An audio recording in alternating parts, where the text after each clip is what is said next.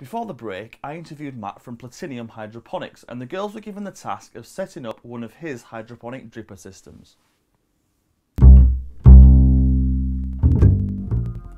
Okay, so showing you the whole process would take up the entire episode, so we've speeded it up. Hopefully, this gives you an idea of what's involved in the setup of this system.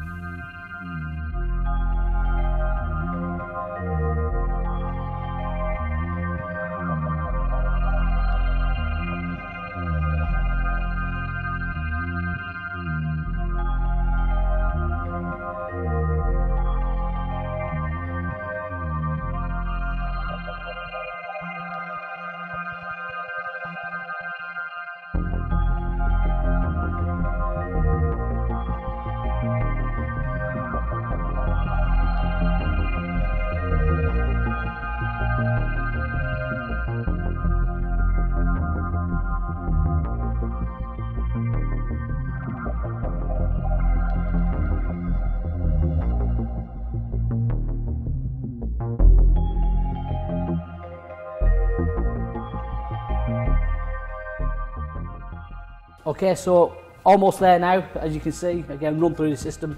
Pump's going to pump it up down the irrigation, into the lining, and each dripper then will spike into the growing medium, whichever one we decide to use. And that basically will continuously then drip feed, drip feed, drip feed. You could put that on the timer if you wanted, if you wanted to drip at particular times in the day. Um, and also you could set it to a pressure that was sort of dripping. Continuously, little and often, but most people have them through a timer. Final piece on this, which is quite unique of the system, is this is your nice little viewing panel that I explained to you before, so you can still get to your pump, you can see what's happening, you can actually still get to the dial if you thought that the flow rate on the water was um, too strong or too too slow, um, basically. And you can also, there's a gradient in here, so you can see you can see what level your tank is in literage. And what you really don't want doing, you don't want any of the lighting hitting the nutrient solution water because that can cause problems to the nutrient. Okay. So what you basically do, pop your little cover on, job done. Job's a good one. And what we could also do then, the final sort of, you know, where you need to be in the system, the final piece really is you decide which growing medium you want and basically you'd fill the pot up, Okay. get it to the desired level. If it's clay pebbles, you might have to treat them to get them pH stable. For instance, today.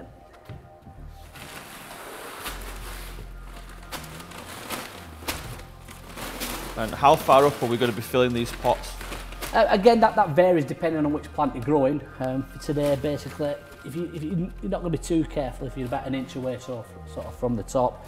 And this particular one, with the drainage piece that we put in earlier on, this will become quite key because this is quite, it's quite thin, growing medium. Like I said, you can use clay pebbles, coco, or indeed the stone. Um, basically, what we do then, we fill each individual pot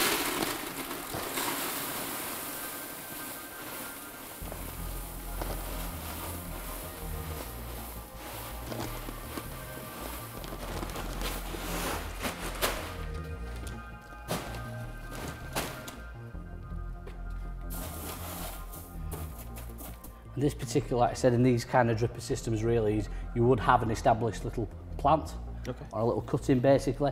And that could sit in a rockwool cube, sort of plate it into situ. And then basically now then, that's where the spike would come in and you would spike it into the nutrient, into the grow media.